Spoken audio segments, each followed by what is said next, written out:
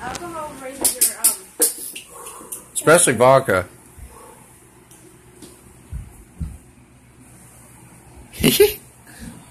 Devin's drunk. That's what he does after this. I do. Just kidding. You know what? What?